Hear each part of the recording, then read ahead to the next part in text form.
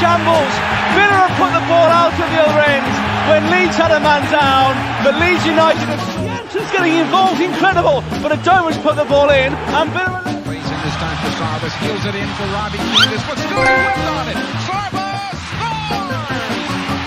2 nothing Galaxy. 42nd minute. Marcelo Sarvas. Delivers header. Oh, beautiful start from Anthony Modeste. That is perfection.